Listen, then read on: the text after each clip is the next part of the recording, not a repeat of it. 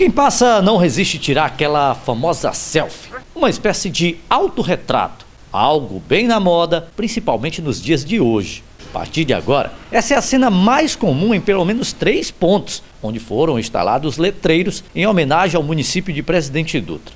Um desses letreiros foram instalados aqui na Praça São Sebastião e pelo menos mais três foram colocados pela cidade. Um fica na rotatória da Praça das Bombas e o outro fica na Praça do Novo Centro Administrativo. O objetivo aqui é você chegar, tirar uma foto e espalhar nas redes sociais. Além de chamativo, os letreiros são bem coloridos e dá mais qualidade na hora daquela fotinha para mostrar para os amigos e espalhar nas redes sociais. Os mais novos cartões postais da cidade foram criados exatamente para isso, para dar mais identidade ao município, para você tirar sua foto e espalhar por aí que ama realmente Presidente Dutra.